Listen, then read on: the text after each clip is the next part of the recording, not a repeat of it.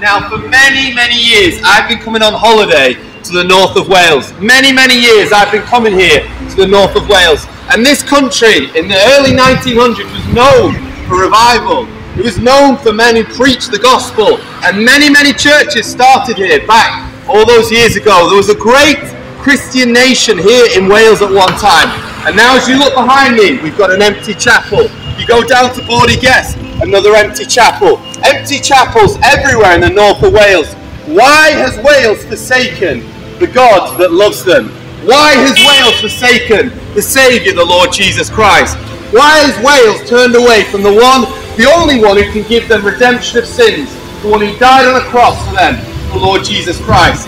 That's why I'm out here today in Wales. You see, here we've got a, a Christian bookshop, a Christian cafe that's seeking to share the light of Christ. Right next to me here, we've got someone who's pushing the agenda of the world, the agenda of the world. And this is why, my dear friends, this is why we've turned away from Christianity. You may look at me, you may laugh, you might want to spend time here, but I'm saying this very country, Wales, was built on a Christian nation. It was built because the gospel, because men went out and preached the, the word of God. Evan Roberts went out and preached the name of the Lord Jesus Christ, and souls turned to him. So let me ask you a question. What goes through your mind when you hear the name Jesus Christ? Is he just a swear word on your lips? Is he just an excuse to have a, a bank holiday at Easter? What is Jesus Christ to you? Did you know, whatever you think of the Lord Jesus Christ, he loves you to pieces.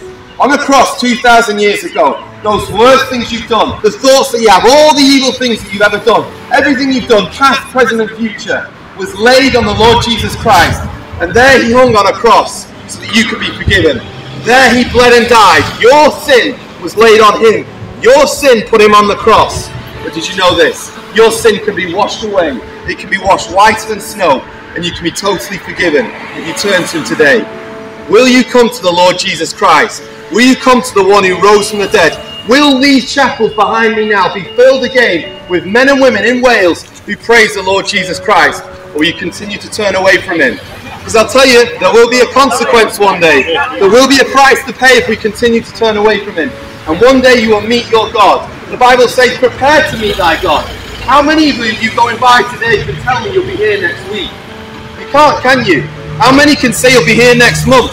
And yet one day you will meet your God. And this God loves you, He wants to save you. But if you turn from Him, if you reject Him, if these chapels remain empty and the churches get smaller and smaller and smaller, and people turn away from the living God, I'm telling you now, you will pay the price for it. And I do not want you to go to hell. That's why I'm stood here looking like a bit of a nut job, but I'm okay with that. If there's someone here today who turns to Jesus Christ, escapes the fires of hell, I'm prepared to be there. Listen, street preachers are just like fire alarms. They're really, really annoying, really irritating, but they warn you of danger. And I'm warning you today, there is a fire. There is a fire that will await for every single soul that has not turned to Jesus Christ. And, well, you can say I'm annoying, madam, but you need to turn to Christ because you don't know how much longer you've got left. And you will meet your Lord one day, and you need to make sure that your sins have been washed away. Good people don't go to heaven. It's only forgiven people. God bless you all. I'm here again just to say too many empty chapels in Wales, and I'll keep preaching until these chapels are filled again.